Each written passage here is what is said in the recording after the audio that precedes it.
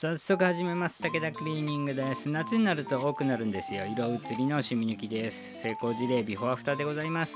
色が出てしまう服と一緒に洗濯したことで白の T シャツがピンクになってしまったんですよね。まるで最初から薄いピンクの T シャツだったみたいに綺麗に全体がピンクなんですよ。でもよく見ればムラになってるところもあるんですよ。一緒に洗うとやばい。そう思ってたらもう最初から分けて洗うんですよね。でもそう思わないから一緒に洗っちゃうわけです。洗濯物は白物と色柄物の2つに分けることができるのですが真っ白と真っ白以外のものに分けるともうたくさん分けなきゃなんないですよね。そもそも白無地なんてお父さんの肌着とワイシャツぐらいしかないでしょ？他は全部何かしら色がついてるでしょ？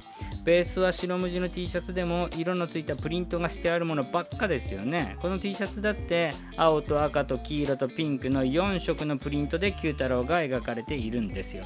でもこれは白物に分類しますよね。白物と色柄物に分類して洗うってことは洗う服の量的には1回で済む洗濯を2回に分けてやるってことですよ。それ皆さん嫌でしょ面倒でしょ二度手間だって思うでしょそうなんですよね。何の根拠もないけれど多分大丈夫ってことでまとめ洗いをするんです。案外大丈夫だったりするんですよ。でもね、たまに大丈夫じゃなくて色移りしちゃうものがある。それがよりによってどうしてこの服にって感じなんですね。大事な服に限ってってことなんですよね。もう不運です悲しいですがっかりです。色柄物と白物は分けて洗いましょうなんてことはね誰だって知ってるんですよ。とんがりコーンとキャラメルコーン。コーンつながりだけでまるで違う味なので一緒に食べる人いないし食べてもきっと美味しくない。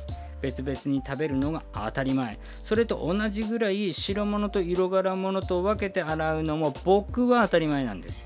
お客様からお預かりしている服を洗うんですからね。そんな初歩的な失敗に大きな代償なんてありえないんですよ。ただ分けて洗うの面倒って思うことはありますよ。でも色移りしてしまってそれを取る手間の方がもっとずっと面倒で大変なことを知ってるからね。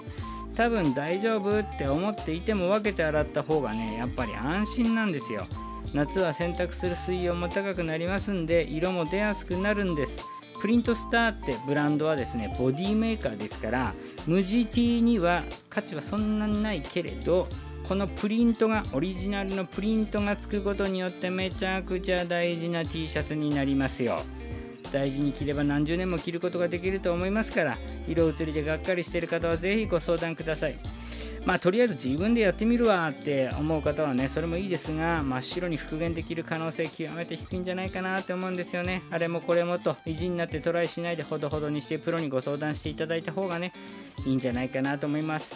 まあできれば何もしないですぐにご依頼いただいた方がですね成功率高くてリスク低くて料金も安く済むんじゃないかなと思います。今日はここまでです。